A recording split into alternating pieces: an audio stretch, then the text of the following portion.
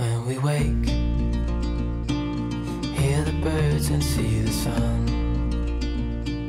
Side by side, our fears are done. All the good times just begun. Day two of our trip took us 565 kilometers through northern Quebec to the town of Fermont. Are you gonna check you old Beth? Oh, uh, I'll give you a minute to let yours warm up.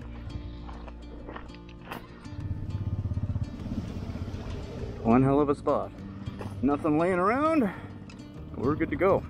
We hit the road early, and our first stop was 300 meters away to check out the waterfall we got to listen to all night.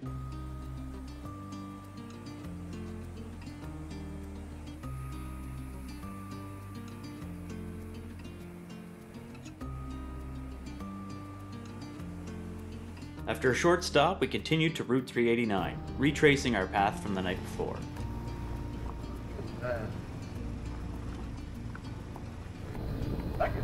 Spend a whole week here. Sand, I fucking hate sand. Ah, Quebec construction. May as well shut her off. We're on the road. You can see where they're they're ripping up the old road too. They're not just leaving it. Oh, it's over there, was it? Yeah, yeah. Well, and that that's the old road. Be nice if they had left it. Well, too many, probably, probably since I've been in the woods so many times, drivers getting killed. Now, now, brother, be careful with your biased opinions on particular trucking companies. It may come back to haunt us later. So, this first section of the 389 has had some extensive work done to it, which continues, in order to straighten it out a little for the heavy transport truck traffic. And despite the highway feel, this section still offers amazing scenery, and it was only about 10 kilometers before we reached our next stop, the Manic 2. Peanut butter and jam!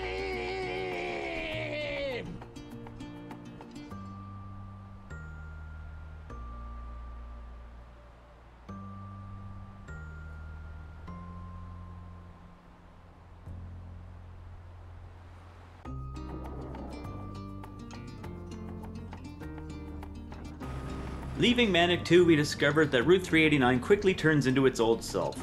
Full of twists and turns, rivers, lakes, and valley views, an absolute joy to ride.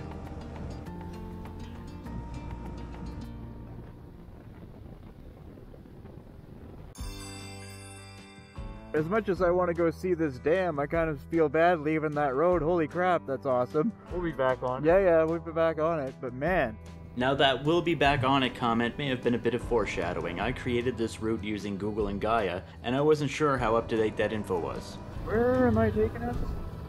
Uh, Apparently, the answer to that question is not very. Whether this is where I intended to be or not, it's as far as I'm going.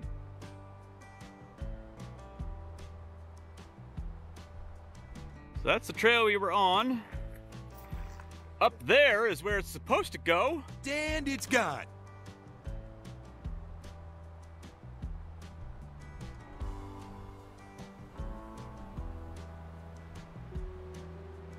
So we had to turn around. But backtracking wasn't so bad as it gave us time to see some things that we may have missed on the way in.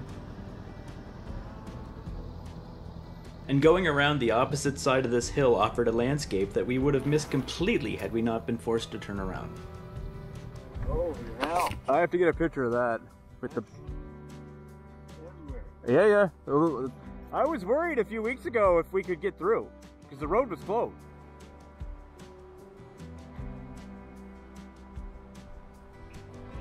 Well, it was a forest. Well, at one point, yeah. And it's gone.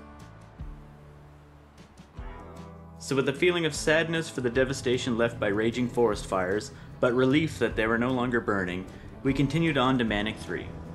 And I apologize, I can't go to a dam without the following going through my head. Damn! Peanut butter and jam! And I understand that those two clips are completely unrelated to each other, but hey, that's ADHD for you.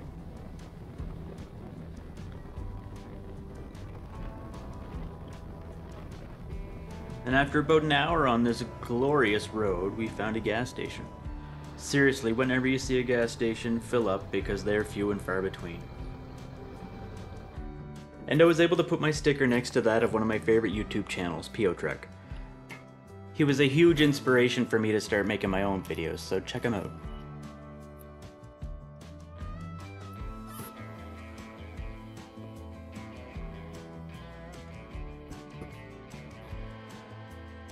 Now that is the look of approval if I ever saw one. Oh, you get some pretty even tire wear on that road. Yeah, That's pretty, pretty down further than I am. yeah, I want to put her much further. There's also a restaurant here if that's your thing. But we stuck with what became a staple roadside meal for us of Gatorade, beef jerky, and chocolate bars while we recounted our experience of the day so far.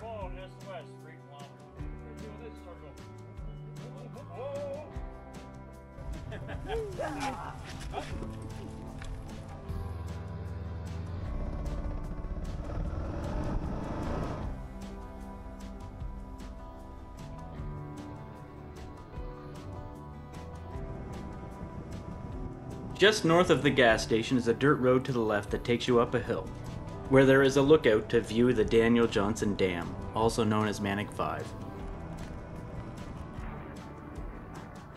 This thing is impressive, and we both made the stereotypical comment of, pictures just don't do it justice, while proceeding to take pictures. Damn! Peanut butter and jam!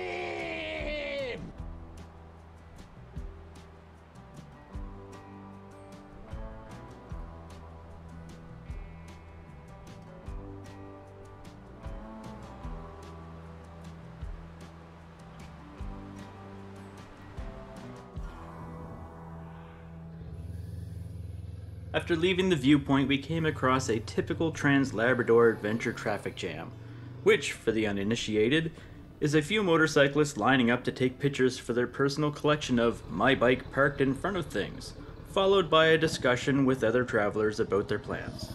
We'll wait our turn. La place pour prendre une photo. Wait, wait. Where are you from? Uh, Nouveau Brunswick, uh, Nouvelle-Écosse. You going till uh, Blanc Sablon? Eventually, yeah. Tonight we're getting to Fermont. We don't know where to go. But there's a there's a free place in Fermont that's right by a lake. The town lets you camp there. Oh yeah? That's our goal. But it's 360 kilometers and it's already two o'clock, so we'll see. So it will take three hours and a half, maybe.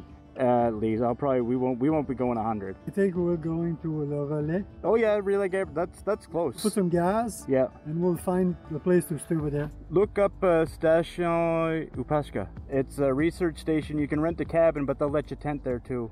Thanks for the tip. Bonne journée. Thanks. Bonne journée.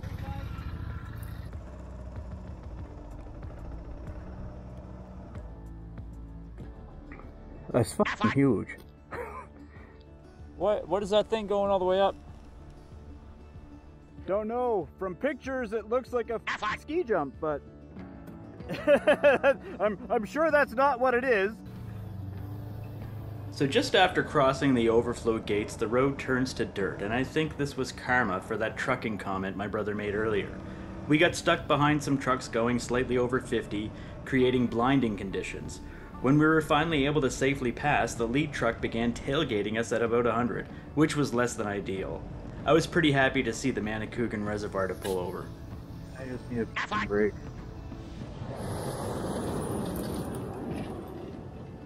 Get down there on that roadway? It's up to you. Should be able to. Alright, not much point looking at it from here. No, we'll go down. Short inseam problems in three, two, one. Ah, ah.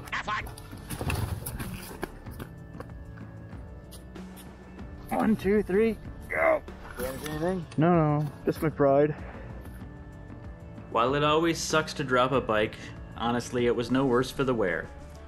And I was able to dip my feet in the eye of Quebec. Worth it.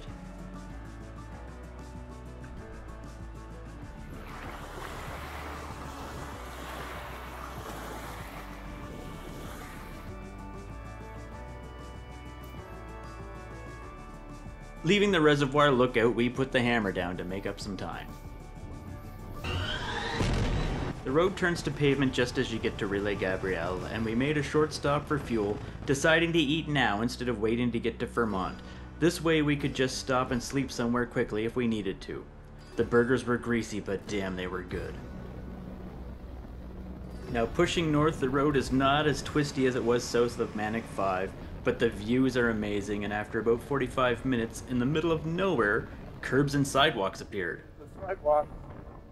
This was once the town of Gagnon. When the nearby mine dried up in the 1980s, the town was abandoned and all the buildings were removed. These curbs, a few plaques, and a flag are all that remains. Ah! Let's go read a plaque, shall we? Then we'll figure out what we're doing.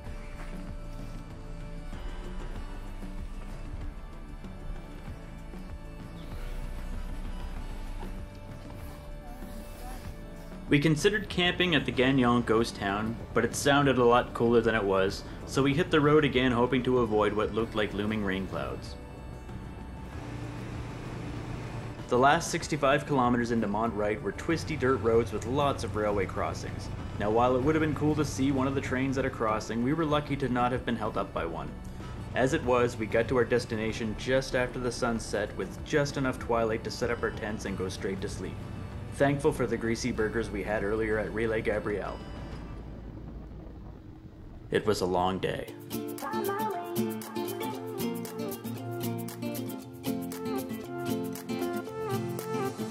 A new place, a new home for a while. Let me feel alive. Nothing to hold me back. Take my time, just enjoy the ride. A new man passing by. Life is good, best I've ever felt.